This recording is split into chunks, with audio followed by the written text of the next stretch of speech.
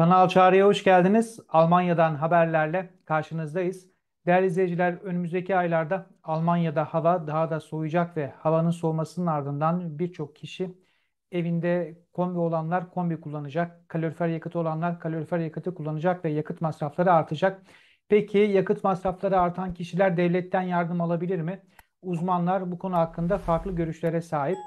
Almanya'da uzmanlar şimdiye kadar yardım alamayanların da yükselen masraflarla birlikte artık yardım alma hakkına sahip olabileceğini belirtiyor. Örneğin devletin yardım alabilmek için belirlediği gelir seviyesinin çok az üstünde olan kişilerin şansının yüksek olduğu belirtiliyor.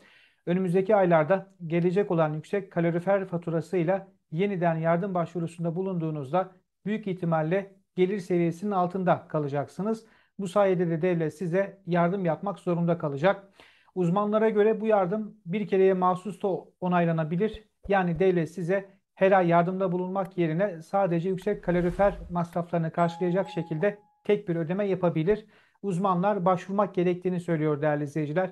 Eğer önümüzdeki aylarda çok yüksek e, faturalarla karşılaşırsanız siz de e, yardım başvurusunda bulunun. Devlet kararı versin.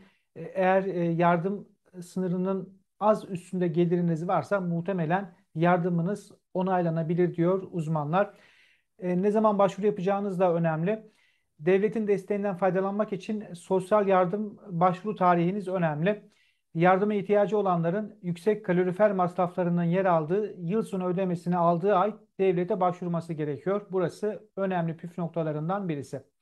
Yani giderlerinizin en yüksek olduğu ay bu sayede masraflar yüksek olduğundan aylık elinize kalan para azalmış olacak ve sosyal yardım alma şansınız artmış olacak. Tahminlere göre Almanya'da yaşayan birçok aile bu sayede yakıt masraflarının önemli bir kısmını devlet desteğiyle karşılamış olabilecek. Önemli bir haberdi sizlere aktarmak istedik.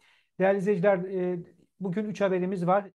Değerli izleyiciler ikinci haberimiz Almanya'daki market e, rafları ile ilgili. Market rafları neden boşalıyor? İkinci haberimize bekliyoruz.